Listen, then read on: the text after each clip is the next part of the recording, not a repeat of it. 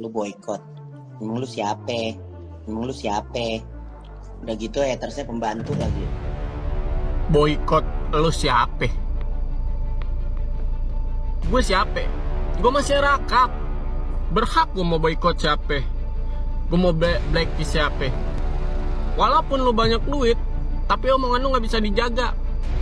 Pembantu kerjaan halal mau dia yang ngehinanya pembantu juga pembantunya nggak usah lu sebut kenapa makin jadi kenapa makin jadi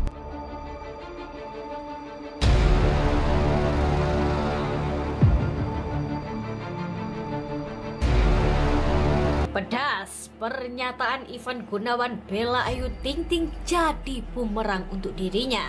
Mematik amarah warganet sampai bikin Ivan begini. sekarang gini ya kalian Sebelum lanjut nonton, jangan lupa klik subscribe-nya ya.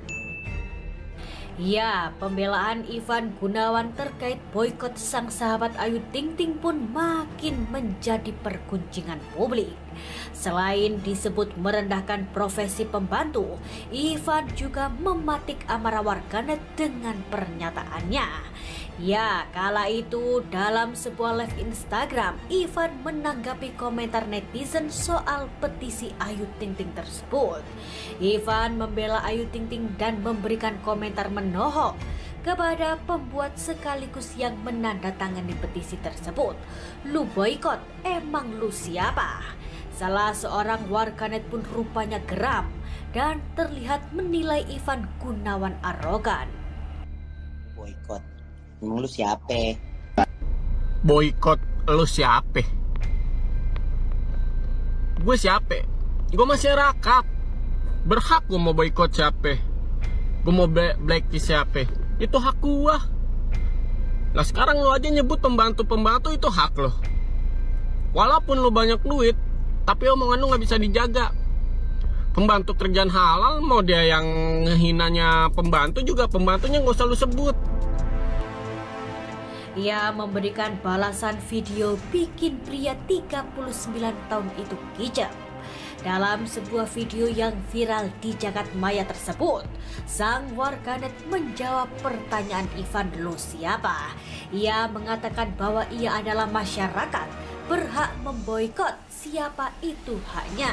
Ia pun membalik mempertanyakan hak Ivan menyebut-nyebut pembantu. Pria muda tersebut juga mengingatkan jika mau diperpanjang, DPRD Jatim sudah siap namun jangan sampai membawa-bawa nama pembantu. Sontak video salah seorang warganet tersebut dibanjiri oleh netizen di jagat maya. Banyak yang mendukung namun tak sedikit pula yang berkomentar agar tak usah diperpanjang. Sementara itu melihat pernyataannya yang ramai jadi perbincangan, Ivan Gunawan pun angkat bicara. Berdasarkan keterangannya dirinya sama sekali tak menghina profesi pembantu. Ivan juga menyayangkan jika akhirnya ada asumsi yang mengatakan bahwa dirinya tidak menyukai profesi pembantu. Bahkan menurut Ivan asumsi tersebut terlahir karena pemikiran sumbu pendek oknum tertentu. Waduh, makin ramai saja ya pemirsa. Dan untuk update terbaru berita-berita terkini dari Triono agar tak ketinggalan, jangan lupa klik tombol subscribe-nya ya guys dan tekan tombol loncengnya agar tak ketinggalan berita-berita terbaru dan terupdate dari kami.